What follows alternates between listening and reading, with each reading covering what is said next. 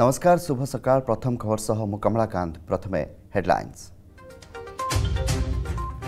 ଆଣ୍ଡାମାନ ସାଗରରେ ସୃଷ୍ଟି ହେଲା ଘୂର୍ଣ୍ଣିବଳୟ ଛଅ ତାରିଖ ବେଳକୁ ଲଘୁଚାପ କ୍ଷେତ୍ର ସୃଷ୍ଟି ହେବା ସମ୍ଭାବନା ପ୍ରଭାବରେ ଉପକୂଳ ଜିଲ୍ଲାରେ ପ୍ରବଳରୁ ଅତି ପ୍ରବଳ ବର୍ଷା ଆଶଙ୍କା। ଭାରତୀୟ ପାଣିପାଗ ବିଭାଗର ସୂଚନା। ବାତ୍ୟା କେଉଁ ଆଡ଼କୁ ଯିବ ସେ ନେଇ ହୋଇନାହିଁ ଆକଳନ।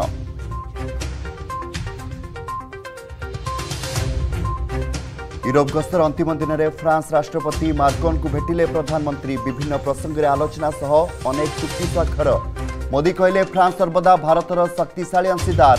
ଅନେକ କ୍ଷେତ୍ରରେ କରି ଆସିଛି ସହଯୋଗ।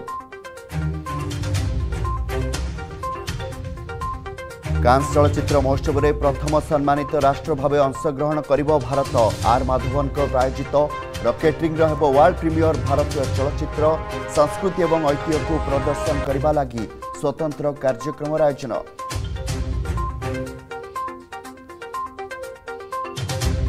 ଆଜି ପୁରୀ ରଥଯାତ୍ରା ପାଇଁ ବସିବ ପ୍ରଥମ ସମନ୍ୱୟ କମିଟି ବୈଠକ। ସାମିଲ ହେବେ ଜିଲ୍ଲାର ସମସ୍ତ ବିଭାଗୀୟ ଅଧିକାରୀ କୋଭିଡ ସ୍ଥିତିକୁ ଦେଖି ଭକ୍ତଙ୍କ ଗହଣରେ ରଥଯାତ୍ରା ନେଇ ହୋଇପାରେ ଆଲୋଚନା। ସେଭଳି ବିଧିବଦ୍ଧ ଭାବେ ଚାଲିଛି ରଥଖଳାରେ ରଥ ନିର୍ମାଣ କାମ। ଶୀତଳ ଷଷ୍ଠୀ ଯାତ୍ରା ପାଇଁ ସମ୍ବଲପୁର ସହରର ଶିବାଳୟଗୁଡ଼ିକରେ ଥାଳ ଉଠା ନୀତି କନ୍ୟା ପିତାମାତା ଚୟନ ସହ ଆରମ୍ଭ ହେଲା ପିତା ପଡ଼ା ମଧ୍ୟରେ ପାଣ୍ଠି ସଂଗ୍ରହ ଜୁନ୍ ଚାରିରେ ପ୍ରସିଦ୍ଧ ଶିବ ପାର୍ବତୀ ବିବାହ ଏବଂ ଆଜି ମହାନ ବିପ୍ଳବୀ ଧରଣୀଧର ଭୂୟାଙ୍କ ଜୟନ୍ତୀ ଓଡ଼ିଶା ଇତିହାସର କେନ୍ଦୁଝର ପ୍ରଜାମେଳିର ନାୟକ ଶୋଷଣ ଏବଂ ଅତ୍ୟାଚାର ବିରୋଧରେ ସ୍ୱର ଉଠାଇ ହୋଇଥିଲେ ଦେଇଥିଲେ ଅଦମ୍ୟ ସାହସର ପରିଚୟ ମହାନ ବିପ୍ଳବୀଙ୍କୁ ଗଭୀର ଶ୍ରଦ୍ଧାଞ୍ଜଳି ଜଣାଉଛି ଓଡ଼ିଶା।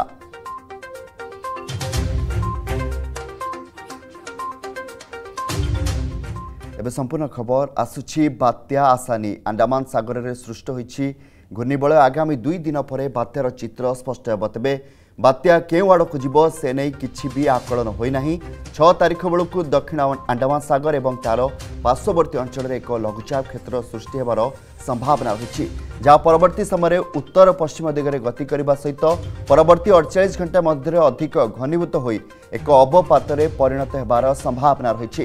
ଏହାପରେ ବାତ୍ୟା ନେଇ ସଠିକ୍ ଆକଳନ କରିହେବ ବୋଲି ଭାରତୀୟ ପାଣିପାଗ ବିଭାଗ ପକ୍ଷରୁ କୁହାଯାଇଛି। ଏନେ ଅଠର ଜିଲ୍ଲାପାଳଙ୍କୁ ବାତ୍ୟା ଆଲର୍ଟ କରାଯାଇଛି। ଏହି ଅଠରଟି ଜିଲ୍ଲା ହେଉଛି ଗଞ୍ଜାମ ଗଜପତି ପୁରୀ ରାୟଗଡ଼ା ଜଗତସିଂହପୁର କେନ୍ଦ୍ରାପଡ଼ା ଯାଜପୁର ଭଦ୍ରକ ବାଲେଶ୍ୱର ନୟାଗଡ଼ କଟକ ମୟୂରଭଞ୍ଜ କେନ୍ଦୁଝର ଢେଙ୍କାନାଳ ମାଲକାନଗିରି କୋରାପୁଟ ରାୟଗଡ଼ା ଏବଂ କନ୍ଧମାଳ।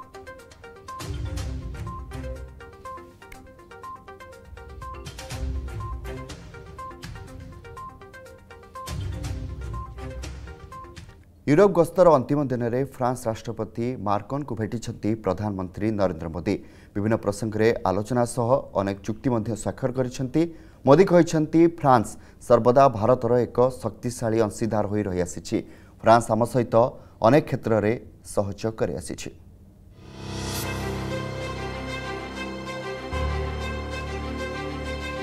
ୟୁରୋପ ଗସ୍ତର ଅନ୍ତିମ ଦିନରେ ଫ୍ରାନ୍ସ ରାଷ୍ଟ୍ରପତି ଇମାନୁଏଲ ମାକ୍ରନଙ୍କୁ ଭେଟିଛନ୍ତି ପ୍ରଧାନମନ୍ତ୍ରୀ ମୋଦି। ଜର୍ମାନୀରୁ ଡେନମାର୍କ ଓ ଶେଷରେ ଫ୍ରାନ୍ସ ପହଞ୍ଚିଥିଲେ ପ୍ରଧାନମନ୍ତ୍ରୀ। ପ୍ରଧାନମନ୍ତ୍ରୀ ନରେନ୍ଦ୍ର ମୋଦି ତାଙ୍କ କାରରୁ ଓହ୍ଲାଇବା ମାତ୍ରେ ଫ୍ରାନ୍ସ ରାଷ୍ଟ୍ରପତି ମାକ୍ରନ ତାଙ୍କୁ ଆଲିଙ୍ଗନ କରିଥିଲେ। ଦୁହେଁ ଦୀର୍ଘ ସମୟ ପର୍ଯ୍ୟନ୍ତ ପରସ୍ପରକୁ ଅଭିବାଦନ ଜାରି ରଖିଥିଲେ।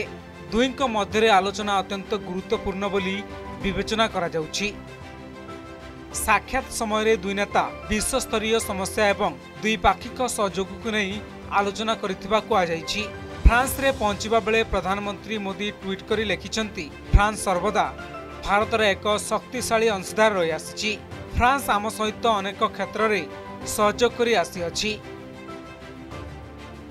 ତେବେ ଗସ୍ତର ଶେଷ ଦିନରେ ଡେନମାର୍କରେ ଦ୍ୱିତୀୟ ଇଣ୍ଡୋ ନର୍ଡିକ୍ ସମ୍ମିଳନୀରେ ପ୍ରଧାନମନ୍ତ୍ରୀ ଯୋଗ ଦେଇଥିଲେ।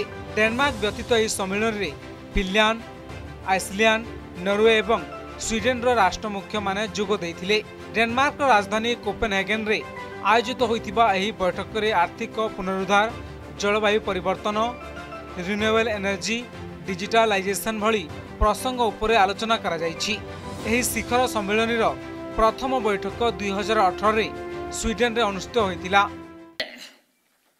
भारत के अलग अलग राज्यों से लोग यहाँ आए हैं, बसे हैं, कोई तेलुगु बोलता है, कोई पंजाबी, कोई बांग्ला, आने कोई मराठी અને केम छो गुजराती। है तो कोई तमिल वणक्कम से शुरू करता है तो कोई मलयाली कोई उड़िया जय जगन्नाथ कोई कन्नड़ा तो कोई असमिया भाषा कोई भी हो ଏହା ପୂର୍ବରୁ ମଙ୍ଗଳବାର କୋପେନହାଗନଠାରେ ପ୍ରବାସୀ ଭାରତୀୟଙ୍କୁ ସମ୍ବୋଧନ କରି ମନ ମୋହିଥିଲେ ପ୍ରଧାନମନ୍ତ୍ରୀ। ସେଠାରେ ଅବସ୍ଥାପିତ ବିଭିନ୍ନ ରାଜ୍ୟର ପ୍ରବାସୀଙ୍କୁ ସେହି ରାଜ୍ୟର ମାତୃଭାଷାରେ ସ୍ୱାଗତ ଜଣାଇବା କ୍ରମରେ ସେଠାରେ ରହୁଥିବା ପ୍ରବାସୀମାନଙ୍କୁ ଜୟ ଜଗନ୍ନାଥ କହି ଶୁଭେଚ୍ଛା ଜଣାଇଥିଲେ ଯାହାକୁ ଶୁଣି ସେଠାରେ ଉପସ୍ଥିତ ଓଡ଼ିଆମାନେ ବେଶ୍ ଉତ୍ସାହିତ ଥିବାର ଦେଖିବାକୁ ମିଳିଥିଲା।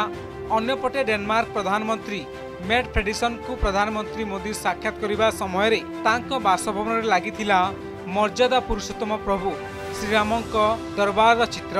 ସେ ଦେଶର ପ୍ରଧାନମନ୍ତ୍ରୀଙ୍କ ବାସଭବନର ଶୋଭା ମଣ୍ଡନ କରୁଥିବା ଓଡ଼ିଆ ଅସ୍ମିତାର ପରିଚୟ ପଟ୍ଟଚିତ୍ର ଶୈଳୀର ଏହି ଅନନ୍ୟ କଳାକୁ ଭାରତର ପ୍ରଧାନମନ୍ତ୍ରୀଙ୍କୁ ଦେଖାଇଥିଲେ ଡେନମାର୍କର ପ୍ରଧାନମନ୍ତ୍ରୀ।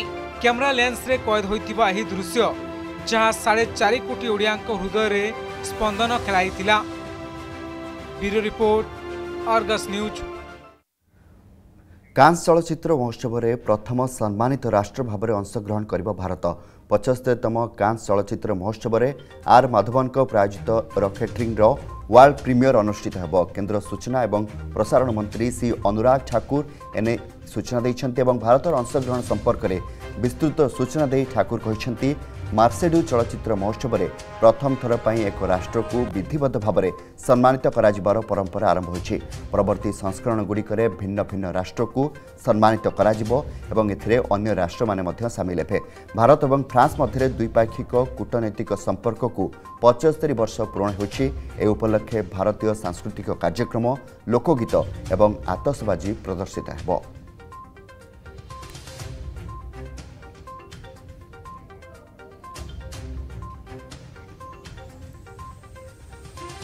ରଥଯାତ୍ରା ପାଇଁ ପୁରୀ ପ୍ରଶାସନ ପକ୍ଷରୁ ଆରମ୍ଭ ହୋଇଛି ପ୍ରସ୍ତୁତି। ଜିଲ୍ଲାର ସମସ୍ତ ବିଭାଗୀୟ ଅଧିକାରୀଙ୍କୁ ନେଇ ଆଜି ବସିବ ପ୍ରଥମ ରଥଯାତ୍ରା ସମନ୍ୱୟ କମିଟି ବୈଠକ। କୋଭିଡ୍ ସ୍ଥିତିକୁ ନେଇ ଭକ୍ତଙ୍କ ଗହଣରେ ରଥଯାତ୍ରା ହେବ କି ନାହିଁ ସେ ନେଇ ନିଷ୍ପତ୍ତି ନିଆଯିବ। ବୈଠକରେ ରଥ ନିର୍ମାଣ ରଥ ସାମଗ୍ରୀ ସ୍ୱାସ୍ଥ୍ୟ ଓ ପରିମଳ ସେବା ପାନୀୟ ଜଳ ଯୋଗାଣ ରାସ୍ତାଘାଟ ମରାମତି ବିଦ୍ୟୁତ୍ ଯୋଗାଣ ସମ୍ପର୍କରେ ଆଲୋଚନା କରାଯିବ ବୋଲି ଜିଲ୍ଲାପାଳ କହିଛନ୍ତି। ଗତକାଲିଠାରୁ ବିଧିବଦ୍ଧ ଭାବରେ ରଥଖଳାରେ ରଥ ନିର୍ମାଣ କାର୍ଯ୍ୟ ଆରମ୍ଭ ହୋଇଛି। ଶ୍ରୀନହରସ୍ଥିତ ରଥଖଳାର ଚାରିପଟେ ଧଳାକନା ଗୁଡ଼ା ଯାଇ ରଥ ନିର୍ମାଣ କାମ ଜାରି ରହିଛି ପ୍ରାଥମିକ ଭାବରେ ତିନି ରଥ ପାଇଁ ତୁମ୍ବ ନିର୍ମାଣ କାମ ଜାରି ରହିଛି ତେବେ ରଥଯାତ୍ରା ପାଇଁ ଆଜିର ସମନ୍ୱୟ କମିଟି ବୈଠକ ଉପରେ ସମସ୍ତଙ୍କ ନଜର ରହିଛି ତେବେ ବୈଠକ ସମ୍ପର୍କରେ ଅଧିକ ଆଲୋଚନା କରିବା ପାଇଁ ଆମ ପୁରୀ ପ୍ରତିନିଧି ଆଲୋକ ଆଶୁତୋଷ ଯୋଡ଼ି ହୋଇସାରିଛନ୍ତି ଆଲୋକ ଯଦି ଦେଖିବା ଯେ ପୁରା ଓଡ଼ିଶାର ନଜର ଆଜିର ବୈଠକ ଉପରେ ରହିବ କାରଣ କରୋନା କଟକଣା ଭିତରେ କିଭଳି ଭାବରେ ରଥଯାତ୍ରା ହେବ ଏବଂ ପ୍ରଥମ ଥର ପାଇଁ ପୁଣି ଥରେ ଭକ୍ତଙ୍କ ଗହଣରେ ରଥଯାତ୍ରା ହେବ ଏ ଆଶା ବାନ୍ଧିଛନ୍ତି କୋଟି କୋଟି ଜଗନ୍ନାଥ ପ୍ରେମୀ ଏବଂ ଓଡ଼ିଶାବାସୀ? ନିଶ୍ଚିତ କମଳାକାନ୍ତ ଆପଣ ଜାଣିଛନ୍ତି ଦୀର୍ଘ ଦୁଇ ବର୍ଷ ପରେ ବିଶ୍ୱ ପ୍ରସିଦ୍ଧ ଘୋଷଯାତ୍ରା ପାଇଁ ଆଜି ପ୍ରଥମ ରଥ ସମନ୍ୱୟ ବୈଠକ ଅନୁଷ୍ଠିତ ହବ। ଏହା ସର୍କିଟ ହାଉସରେ ହେବ কিংবা ভক্ত নিবাস হব। তাহা তো বর্তমান সুদ্ধা স্পষ্ট হইনাହିଁ কিন্তু রথ সমন্বয় বৈঠক আজ অনুষ্ঠিত হব দিন এগারটা বেড়ে বৈঠকরে পুরী জেলাপাল অধ্যক্ষতা করবে বলে সূচনা মিলিছে এবং বৈঠকরে কইপারা বিভিন্ন বিভাগের অধিকারী মানে উপস্থিত রহবে এর সহিত পুরী এসপি উপস্থিত রহবে পুরী বিধায়ক উপস্থিত রহবে পুরীর কিছু বুদ্ধিজীবী এবং সেবায়ত মানে উপস্থিত রহবে বিশেষ করে আপনার জাঁচান যেহেতু করোনা কটকা লা ভক্ত বিহীন রথযাত্রা হেউলা লগাতার দুই বর্ষ ভক্তমানে রথযাত্রায় সামিল হইপারুনলে সেপাই দুই বর্ষ হব রথ সমন্বয় বৈঠক যা চারি চারটি রথ সমন্বয় বৈঠক হয়ে তাহা ক্যানসল হোলা বা হোলা প্রথম দুইটি রথ সমন্বয় বৈঠক আরডিসিঙ্ অধ্যক্ষতায় হোলা তৃতীয় রথ সমন্বয় বৈঠক আইনমন্ত্রীঙ্ অধ্যক্ষতায় হোলা এবং চতুর্থ রথ সমন্বয় বৈঠক মুখ্যমন্ত্রীঙ্ অধ্যক্ষতায় হোলা কিন্তু আজ যেহেতু প্রথম রথ সমন্বয় বৈঠক বসব ନିଶ୍ଚିତ ଭାବରେ ବି ରଥ କାଠ ଯୋଗାଣ ଠାରୁ ଆରମ୍ଭ କରି ବିଭିନ୍ନ ବିଭାଗର ଅ, ଯେମିତି ଆମେ କହିପାରିବା ଟ୍ରାଫିକ ବ୍ୟବସ୍ଥା ହଉ ଆ, ପରିମଳ ବ୍ୟବସ୍ଥା ହଉ ସ୍ୱେରେଜ ବ୍ୟବସ୍ଥା ହଉ ଡ୍ରେନେଜ ବ୍ୟବସ୍ଥା ହଉ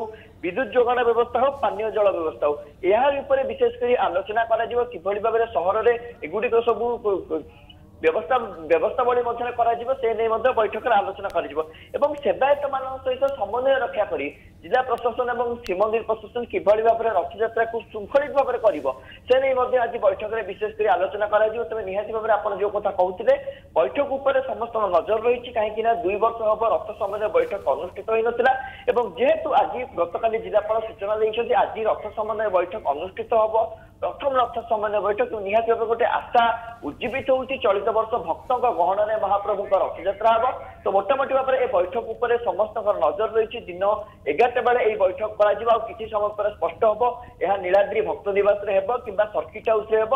କିନ୍ତୁ ବଡ କଥା ହଉଛି ବିଭିନ୍ନ ବିଭାଗର ଅଧିକାରୀ ମାନଙ୍କ ସହିତ ଜିଲ୍ଲାପାଳ ସିଧାସଳଖ ଆଲୋଚନା କରିବେ ଏବଂ କଣ କଣ ସବୁ ସୁବ୍ୟବସ୍ଥିତ ଢଙ୍ଗରେ ହେଇପାରିବ ଯେମିତି ଆପଣ ଜାଣିଛନ୍ତି ବର୍ଷା ଦିନ ଆସିଲେ ବଡଦାଣ୍ଡରେ ଆଣ୍ଠୁ ଆଣ୍ଠୁ ପାଣି ହୁଏ ସେଥିପାଇଁ ସ୍ୱେରେଜ ବ୍ୟବସ୍ଥା କିଭଳି ସୁଧାର ଆସିବ? ଡ୍ରେନେଜ ବ୍ୟବସ୍ଥାରେ କିଭଳି ସୁଧାର ଆସିବ ପରିମଳ ବ୍ୟବସ୍ଥାରେ କିଭଳି ସୁଧା- ସୁଧାର ଆସିବ? ଗମନାଗମନ ଏବଂ ବିଶେଷ କରି ବିଦ୍ୟୁତ ବିଦ୍ୟୁତ ଯୋଗାଣ ପାନୀୟ ଜଳ ଯୋଗାଣ ଏ ତମାମ ବିଭାଗର ଅଧିକାରୀ ମାନେ ଆଜି ନିଜେ ନିଜେ ଉପସ୍ଥାପନ କରିବେ ଏବଂ ମୋଟାମୋଟି ଭାବରେ ଏ ବୈଠକଟି ଅତ୍ୟନ୍ତ ଗୁରୁତ୍ୱପୂର୍ଣ୍ଣ ଏବଂ ବୈଠକ ଶେଷ ହେଇ ଆ, ଜଣା ପଡିବ କିଭଳି ଭାବରେ ବ୍ଲୁ ପ୍ରିଣ୍ଟ ପ୍ରସ୍ତୁତ କରାଯାଇଛି ଏବଂ ପରବର୍ତ୍ତୀ ନିହାତି ପର୍ଯ୍ୟାୟରେ ଦିନ ଏଗାରଟା ପର୍ଯ୍ୟନ୍ତ ଅପେକ୍ଷା କରିବା ପାଇଁ ପଡ଼ିବ। ଅନୁଷ୍ଠିତ ହବ। ବହୁତ ବହୁତ ଧନ୍ୟବାଦ। ଆଲୋକ ଆଶୁତୋଷ ରହିଥିଲେ। ଆମ ପୁରୀ ପ୍ରତିନିଧି ଅଧିକ ଅପଡେଟ୍ ଦେଉଥିଲେ। ଆଜିର ସମନ୍ୱୟ କମିଟି ବୈଠକକୁ ନେଇକି। ଆରମ୍ଭ ହୋଇଛି ସମ୍ବଲପୁରର ପ୍ରସିଦ୍ଧ ଶୀତଳଷଷ୍ଠୀ ଯାତ୍ରା। ପ୍ରବୃତ୍ତ ଅକ୍ଷୟ ତୃତୀୟାରେ ସମ୍ବଲପୁରରେ ଆରମ୍ଭ ହୋଇଛି ଶୀତଳଷଷ୍ଠୀର ଆଦ୍ୟ ପର୍ବ ଥାଳ ଉଠା ଶୀତଳଷଷ୍ଠୀ ଯାତ୍ରା ପାଇଁ ସମ୍ବଲପୁର ସହରର ସମସ୍ତ ଶିବାଳୟଗୁଡ଼ିକରୁ ଥାଳ ଉଠା କାର୍ଯ୍ୟକ୍ରମ ହୋଇଛି। ଶୀତଳଷଷ୍ଠୀ ଯାତ୍ରା ପାଇଁ କନ୍ୟା ପିତା ମାତା ଚୟନ ହେବା ସହିତ ଶୀତଳଷଷ୍ଠୀ ଯାତ୍ରା ପାଇଁ ପଡ଼ା ମଧ୍ୟରେ ପାଣ୍ଠି ସଂଗ୍ରହ ଆରମ୍ଭ ହୋଇଛି।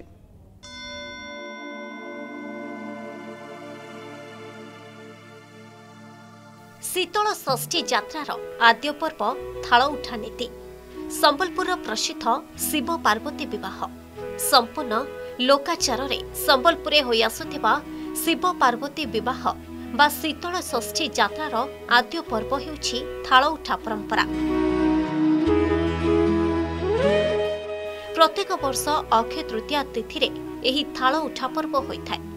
ସମ୍ବଲପୁରର ତିନି ପ୍ରମୁଖ ଶିବାଳୟ ନନ୍ଦପଡ଼ାର ବମ୍ବରାଡ଼ ବାଲୁଙ୍କେଶ୍ୱର ଝାଡ଼ୁଆପଡ଼ାର ଲୋକନାଥ ବାବା ଓ ମୋଦିପଡ଼ାର ଜାଗେଶ୍ୱର ବାବାଙ୍କ ସମେତ ବୁଢ଼ାରାଜା ବଡ଼ବଜାର ଗୋବିନ୍ଦ ତୋଲା ମାନେଶ୍ୱର ଗୁଡ଼େଶ୍ୱରରେ ଥାଳ ଉଠା ସମ୍ପନ୍ନ ହୋଇଛି। ଶୀତଳ ଷଷ୍ଠୀ ଯାତ୍ରା ପାଇଁ କନ୍ୟା ପିତା ଚୟନ ହେବା ସହ ପାଣ୍ଠି ସଂଗ୍ରହ କାର୍ଯ୍ୟ ହୁଏ। ପାରମ୍ପରିକ ପୂଜାର୍ଚ୍ଚନା ପରେ ଯାତ୍ରା କମିଟିର ମାତା ପାର୍ବତୀଙ୍କର ପିତା ମାତା ଚୟନ କରାଯାଇଥିଲା। ଚଳିତ ବର୍ଷ ଝାଡ଼ୁଆପଡ଼ା ମାତା ପାର୍ବତୀଙ୍କ କନ୍ୟା ପିତା ରୂପେ ସୁନୀଲ ଅଗ୍ରୱାଲ ଓ ମାତା ରୂପେ କବିତା ଦେବୀ ଅଗ୍ରୱାଲ ମନୋନୀତ ହୋଇଥିବା ବେଳେ ନନ୍ଦପଡ଼ା କନ୍ୟା ପିତା ରୂପେ ଗିରିଶ ପଟେଲ ମାତା ରୂପେ ହଂସବେନ ପଟେଲ ହୋଇଥିଲେ। ସେହିପରି ବଡ଼ବଜାର କନ୍ୟା ପିତା ରୂପେ ଲୋକନାଥ ରାଉତ ମାତା ରୂପେ ମୀରା ରାଉତ ଚୟନ ହୋଇଛନ୍ତି। ଏଇଟା ଗୋଟେ ସୌଭାଗ୍ୟ ଆଉ ପୃଥିବୀରେ କାଣା ଯେ ଗୋଟେ ମଣିଷର ଜୀବନ ହେଲା ପରେ ମା ଜଗତ ଜନନୀଙ୍କର ପିତା ହିସାବରେ ଆଜି ଜାଗାରେ ଠିଆ ହେଇଛେ ବହୁତ ଖୁସି ଲାଗୁଛେ ମୁଁ ଧନ୍ୟବାଦ ଜଣାଉଛେ ତଥା ବହୁତ ଦିନର ମୋର ଇଚ୍ଛାଟେ ଥିଲା ସେଟା ଆଜି ପୁରା ହେବାର୍ ଲାଗି ଯାଉଛେ ପୁରା ଭବ୍ୟ ଆୟୋଜନ କରାଯିବ ଯେନ୍ତା ଗୋଟେ ଝିଅକେ ବିଦା କରାହେସି ସେମିତି ହିଁ ଆମର ଏଇ ମା ପାର୍ବତୀକୁ ବି ବିଦା କରା- କରାଯିବ ଝିଅ ହିସାବରେ ଆଉ ସେଠି କୌଣସି ରକମର କମ୍ ବେଶୀ ନାଇଁ କରାହୁଏ ମାନେ ହଠାତ୍ ହି ହେଇଗଲା କେବେ ମନରେ ଭାବି ନାହିଁ ଆମେ ମାନେ ସେ ଯାହା ଶ୍ରୀ ପାର୍ବତୀ ଇଚ୍ଛା ତାଙ୍କର ଆଶୀର୍ବାଦରେ ତ ହେଇ ଚାଲିଛି ସବୁ କାମ ଖୁବ୍ ଖୁସି ଲାଗୁଛି। ଆମର ଏହି ପରମ୍ପରା ଅନୁସାରେ ଆଜି ଶିବଙ୍କ ଠାରେ ପୂଜା ଅର୍ଚ୍ଚନା ସାରିକି ଆମେ ପ୍ରଥମେ ପାଣ୍ଠି ସଂଗ୍ରହ ଆରମ୍ଭ ହୁଏ ଶୀତଳ ଷଷ୍ଠୀ ଯାତ୍ରା ପାଇଁ। ଯେମିତି ବହୁ ଆଡ଼ମ୍ବରପୂର୍ଣ୍ଣ ହିସାବରେ ଏ ବର୍ଷ ଶୀତଳ ଷଷ୍ଠୀ ଯାତ୍ରା ହେବ ଆପଣ ଏଇ ଆଦ୍ୟ ପର୍ବରୁ ଦେଖିକି ଅନୁମାନ କରିପାରୁଥିବେ ଯେହେତୁ ବିଗତ ଦୁଇ ବର୍ଷ ହେଲା ଶୀତଳ ଷଷ୍ଠୀ ଯାତ୍ରା ଆ, ବାହାରୁନି। ଆପଣ ଦେଖୁଥିବେ ଲୋକ କେତେ ଅଛନ୍ତି ଗହଳିପୂର୍ଣ୍ଣ ବାତାବରଣରେ। ଆଜି ଥାଳ ଉଠା କାର୍ଯ୍ୟକ୍ରମ ଆରମ୍ଭ ହୋଇଛି। ଆମର ପାଣ୍ଠି ସଂଗ୍ରହର କାର୍ଯ୍ୟକ୍ରମ ବି ଆରମ୍ଭ ହୋଇଗଲାଣି। ଏହି ଦିନ ପରମ୍ପରା ଅନୁସାରେ ପୂଜାର୍ଚ୍ଚନା ପରେ ଯାତ୍ରା କମିଟିର ମାତା ପାର୍ବତୀଙ୍କର ପିତା ମାତା ଚୟନ କରିଥାନ୍ତି। ଏହାପରେ ଦେବ ବିବାହ ପାଇଁ ଦକ୍ଷିଣା ବା ଏହି ବିଶ୍ୱ ପ୍ରସିଦ୍ଧ ଯାତ୍ରା ପାଇଁ ପାଣ୍ଠି ସଂଗ୍ରହ କାର୍ଯ୍ୟ ପଡ଼ାପଡ଼ା ତଥା ଘର ଘର ବୁଲି ପାଣ୍ଠି ସଂଗ୍ରହ କରାଯାଇଥାଏ।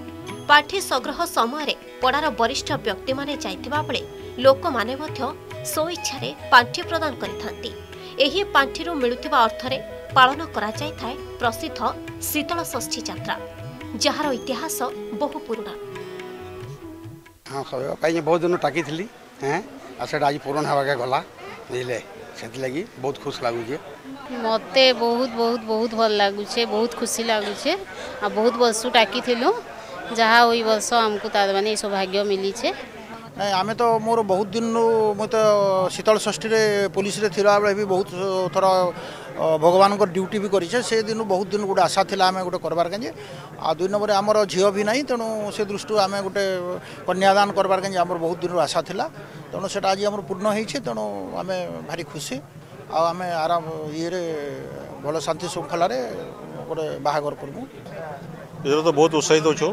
ବାକି ଆଉ କୋଭିଡ଼ ଫୋଭିଡ଼ ନା ହଉ ଭଗବାନଙ୍କର ଇଏରୁ। ଆଉ ଆଜିଟା ଆମର ଥାଲା ଉଠା ହେଲା ପବିତ୍ର ଦିନର ଇଏରେ। ଆଉ କାଲିଠୁ ଆମର ଚିନ୍ତାଧାରା ସବୁ ଆରମ୍ଭ ହେବ କେଉଁ ପାର୍ଟି ଡକାଯିବ କାଁ କରାଯିବ ଆଜି।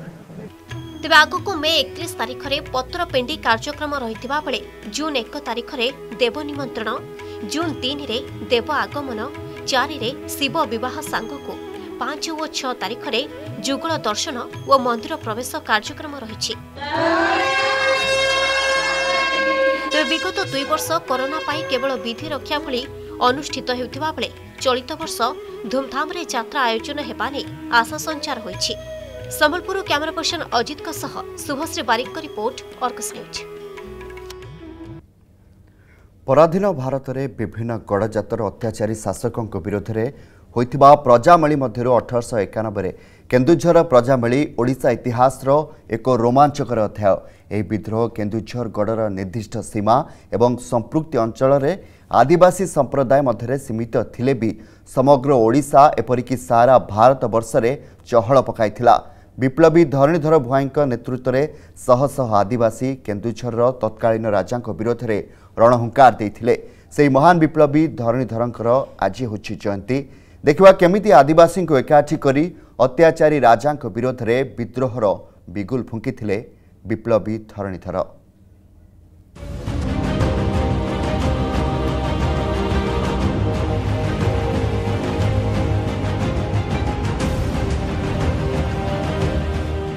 ଅଠରଶହ ଚଉଷଠି ମସିହା ମେ ମାସ ପାଞ୍ଚ ତାରିଖରେ କେନ୍ଦୁଝର ଜିଲ୍ଲାର ଆଦିବାସୀ ପଲ୍ଲୀ କୁସୁମିତାର ଏକ ପାହାଡ଼ି ଭୂୟାଁ ପରିବାରରେ ଜନ୍ମ ନେଇଥିଲେ ବିପ୍ଳବୀ ଧରଣୀଧର ଭୂୟାଁ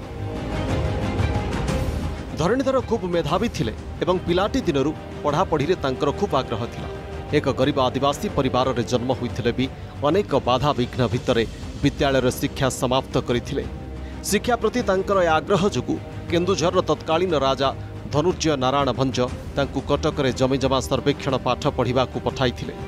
ସେଠାରୁ ଶିକ୍ଷା ସାରି ଫେରିବା ପରେ ରାଜା ଧନୁର୍ଯ୍ୟ ନାରାୟଣ ଭଞ୍ଜ ଧରଣୀଧରଙ୍କୁ ସର୍ବେକ୍ଷଣ ନିରୀକ୍ଷକ ଭାବରେ ନିଯୁକ୍ତି ଦେଇଥିଲେ। ଅତ୍ୟନ୍ତ କର୍ତ୍ତବ୍ୟନିଷ୍ଠ ଧରଣୀଧର ନିଜର ବ୍ୟକ୍ତିତ୍ୱ ସାଧୁତା ପରିଶ୍ରମ ଓ ଅଧ୍ୟବସାୟ ଦ୍ୱାରା ଖୁବ୍ କମ୍ ସମୟ ଭିତରେ ରାଜାଙ୍କର ପ୍ରିୟ ଭାଜନ ହୋଇପାରିଥିଲେ। ଏଥିରେ କ୍ଷୁବ୍ଧ ହୋଇଥିଲେ ରାଜାଙ୍କର ସହକାରୀ ଦେବାନ କ୍ଷମତାଲୋଭୀ ବିଚିତ୍ରାନନ୍ଦ ଦାସ। ଧରଣୀଧରଙ୍କ ବିରୋଧରେ ଖଚ ମିଛ କହି ବିଚିତ୍ରାନନ୍ଦ ରାଜାଙ୍କ ମନରେ ବିଷ ଭରିବାରେ ସଫଳ ହୋଇଥିଲେ। ଫଳରେ ଧରଣୀଧରଙ୍କୁ ପଦବୀ ହରାଇବାକୁ ପଡ଼ିଲା।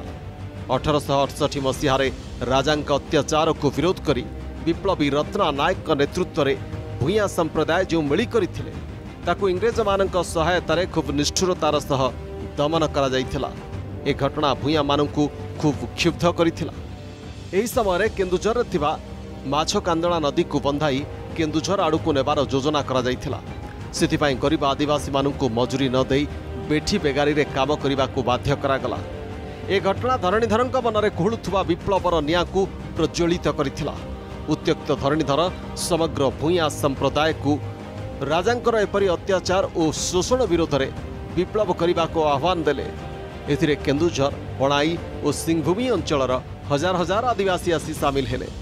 କ୍ରମେ ବିଦ୍ରୋହ ଭୀଷଣ ରୂପ ଧାରଣ କଲା ବିଦ୍ରୋହୀମାନେ ରାଜବାଟୀ ଆକ୍ରମଣ କରିବା ଆଗରୁ ରାଜା ଆନନ୍ଦପୁରକୁ ଲୁଚି ପଳାଇଲେ ସେପଟେ ଇଂରେଜ ସରକାର ବିଦ୍ରୋହକୁ ଦମନ କରିବାକୁ ଚାଇଁବସାର ଡେପୁଟି କମିଶନର ଏଚ୍ ଡାଉସନଙ୍କୁ କେନ୍ଦୁଝର ପଠାଇଲେ ଧରଣୀଧର ରାଜାବିହୀନ କେନ୍ଦୁଝରର ଟିକାୟତ ଭାବେ ନିଜକୁ ଘୋଷଣା କରି ରାଇସୁଆର ଏକ ଆମ୍ବତୋଟା ମଧ୍ୟରେ ଦରବାର ବସାଇଲେ ଏହି ସମୟରେ ବିଦ୍ରୋହୀମାନଙ୍କ ଦ୍ୱାରା ଦେବାନ ଫକୀର ମୋହନ ସେନାପତି ଧରାପଡ଼ିଥିଲେ ତାଙ୍କ ପରି ଜଣେ ଗୁଣୀ ବ୍ୟକ୍ତିଙ୍କୁ ବନ୍ଦୀ ନ କରି ଧରଣୀଧର ଫକୀର ମୋହନଙ୍କୁ ନିଜର ପରାମର୍ଶଦାତା ଭାବେ ନିଯୁକ୍ତ କରିଥିଲେ। କିନ୍ତୁ ରାଜାଙ୍କ ପ୍ରତି ଅଧିକ ଅନୁରକ୍ତ ଫକୀର ମୋହନ ବ୍ରିଟିଶ ଅଫିସର ଡାଉସନଙ୍କ ସହ ହାତ ମିଳାଇ ସରଳ ବିଶ୍ୱାସୀ ଧରଣୀଧରଙ୍କୁ ବନ୍ଦୀ କରାଇଦେଲେ। ଧରଣୀଧରଙ୍କ ବନ୍ଦୀ ହେବା ସହ ଭୂୟାଁ ବିଦ୍ରୋହୀଙ୍କ ବିପ୍ଳବର ଅକାଳ ଅବସାନ ଘଟିଲା। ବିଦ୍ରୋହ କରିଥିବା ଅପରାଧରେ ବିପ୍ଳବୀ ଧରଣୀଧରଙ୍କୁ ସାତ ବର୍ଷ କାରାଦଣ୍ଡରେ ଦଣ୍ଡିତ କରାଗଲା। ଅଠରଶହ ସତାନବେ ମସିହାରେ ଧରଣୀଧର କାରାଗାରରୁ ମୁକ୍ତି ପାଇଥିଲେ। ଏହାପରେ ପୁରୀର ବାଙ୍କି ମୁହାଣରେ ସେ ଅନେକ ବର୍ଷ ତପସ୍ୟାରତ ରହିଥିଲେ। ଏହି ସମୟରେ ତାଙ୍କ ସହିତ ଦେଖା କରିବାକୁ ଉତ୍କଳମଣି ଗୋପବନ୍ଧୁ ଦାସ ପଣ୍ଡିତ ନୀଳକଣ୍ଠ ଦାସ ଆଦି ମନୀଷୀମାନଙ୍କର ଆଗମନ ହୋଇଥିଲା। ଏହାପରେ ଉଣେଇଶଶହ ବାର ମସିହାରେ ଆଳି ଯାଇ ସେଠାରେ ଆଶ୍ରମ ସ୍ଥାପନ କରି ସନ୍ନ୍ୟାସୀ ଜୀବନ ଅତିବାହିତ କରିଥିଲେ। ଷୋହଳ ମେ ଉଣେଇଶଶହ ଚଉଦ ମସିହାରେ ଏହି ମହାନ ବିପ୍ଳବୀଙ୍କର ପରଲୋକ ହୋଇଥିଲା। ଧରଣୀଧର ଭୂୟାଁ ଆଜି ନାହାନ୍ତି ସତ। କିନ୍ତୁ ଶୋଷଣ ଅତ୍ୟାଚାର ବିରୋଧରେ ସ୍ୱର ଉଠାଇ ସେ ଯେଉଁ ଅଦମ୍ୟ ସାହସ ଓ ନେତୃତ୍ୱ ନେବାର ଦକ୍ଷତା ପ୍ରଦର୍ଶିତ କରିଥିଲେ ଯୁଗେ ଯୁଗେ ଏ ଜାତିକୁ ତାହା ପ୍ରେରଣା ଯୋଗାଉଥିବ। ଜୟନ୍ତୀ ଅବସରରେ ମହାନ ବିପ୍ଳବୀ ଧରଣୀଧରଙ୍କୁ ଅର୍ଗସ୍ ନ୍ୟୁଜ୍ର ଗଭୀର ଶ୍ରଦ୍ଧାଞ୍ଜଳି।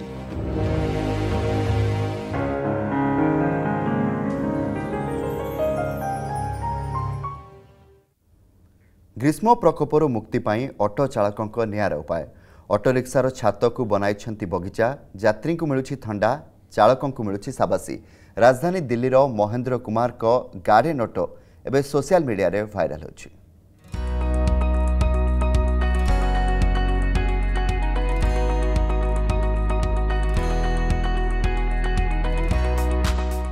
ଗ୍ରୀଷ୍ମ ପ୍ରକୋପରୁ ମୁକ୍ତି ପାଇଁ ଅଟୋ ଚାଳକଙ୍କ ନିଆରା ଉପାୟ।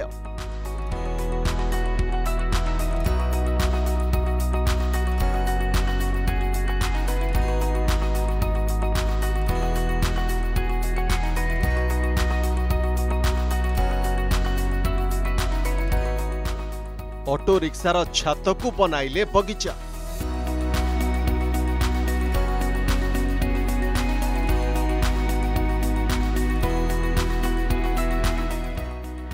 ଯାତ୍ରୀଙ୍କୁ ମିଳୁଛି ଥଣ୍ଡା ଚାଳକଙ୍କୁ ମିଳୁଛି ସାବାସୀ।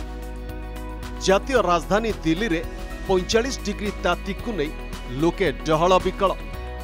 କାରର ଏସି ବି କାମ କରୁନି। କଲବଲ ହେଉଛନ୍ତି ସାଧାରଣ ଯାତ୍ରୀ। କିନ୍ତୁ ମହେନ୍ଦ୍ର କୁମାରଙ୍କ ରିକ୍ସାର ଯାତ୍ରୀଙ୍କୁ କାଟୁ କରୁନି ଖରା ତାତି ଯାତ୍ରୀଙ୍କୁ ଥଣ୍ଡା ଦେବାକୁ ଚାଳକଙ୍କ ନିଆରା ପ୍ରୟାସ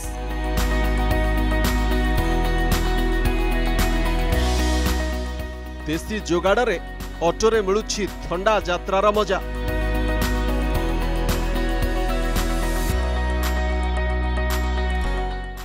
ଯାତ୍ରୀଙ୍କୁ ମିଳୁଛି ଅସହ୍ୟ ତାତିରୁ ମୁକ୍ତି आउ महेंद्रों को मिलूची शाबाशी। मैंने ये दो साल से लगा रखा हूँ पेड़ पौधे क्यों? गर्मियों में एकदम तप जाता था ये। गर्मी से मतलब इतनी राहत नहीं होती थी तो मैंने बोला इसके ऊपर पौधा लगाते हैं। पेड़ पौधा लगा देते हैं। पर्यावरण का भी ध्यान रहेगा ठीक रहेगा। और उसके बाद हमारे को तो फ़ायदा मिल ही रहा। एकदम बिल्कुल ठंडा रहता है वो तो। और उसके अंदर कूलर भी लगा रखे हमने पंखा। तो एक रायर चीज़ देखा मेरे को बहुत अच्छा लगा। ये गाड़ी के ऊपर ठंडी में इतना गर्मी है तो मौसम में तो गर्मी कम करने के लिए इतना ये लगाया फाड़ वगैरह लगाया है बहुत अच्छा लगा इसके लिए मैं देखा फ़ोटो भी खींचा वहाँ से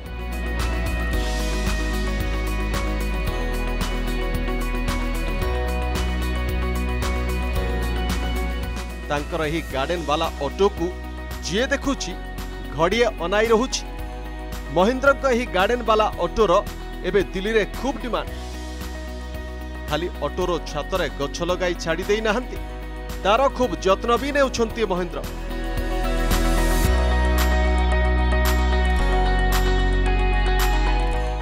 ଛାତକୁ ଥଣ୍ଡା ରଖିବା ସହ ଅଟୋ ଭିତରେ ବି ଦୁଇଟି ଛୋଟ ପଙ୍ଖା ଲଗାଇଛନ୍ତି ଏହି ଚର୍ଚ୍ଚିତ ଅଟୋ ଚାଳକ। ତାଙ୍କର ଏହି ନିଆରା ଉଦ୍ୟମ ପରିବେଶକୁ ତ ସୁହାଉଛି। ଯାତ୍ରୀଙ୍କୁ ବି ଆରାମଦାୟକ ଯାତ୍ରାର अनुभूति दे लोग तो बड़े खुश होते हैं। इतनी खुशी होती है लोगों को देखते हैं सेल्फी लेना शुरू हो जाते हैं सेल्फी फ़ोटो खींचते हैं सेल्फी लेते हैं बल्कि सवारी ये भी कह देते हैं अरे दस बीस रुपये फालतू दे के जा रहा हूँ इसलिए खुशी से दे के जा रहा हूँ इसके वजह से दे के जा रहा हूँ।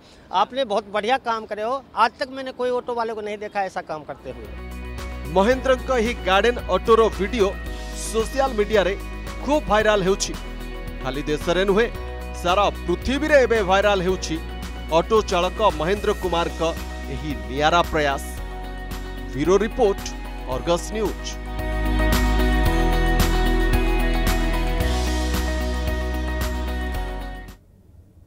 ପ୍ରଥମ ଖବରରେ ସମୟ ସରିଛି ଅଧିକ ଅପଡେଟ୍ ପାଇଁ ଦେଖୁଥାନ୍ତୁ ଅର୍ଗସ୍ ନ୍ୟୁଜ୍ ନମସ୍କାର